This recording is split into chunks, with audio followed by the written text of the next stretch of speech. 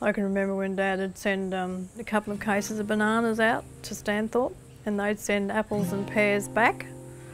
That was a treat. That was a real treat. Not only did you eat the fruit, but you also used the apple papers for the toilet. you didn't have to use newspaper. you had this lovely, Luxury. lovely tissue paper. so it was a twofold thing.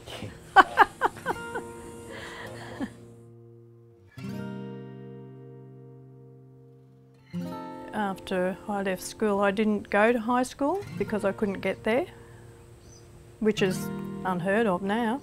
Um, but I left school when I was 14, so I was the eldest of everyone, and um, so there was always jobs to be done, and I basically helped Dad on the farm for another four years, five years. So good life.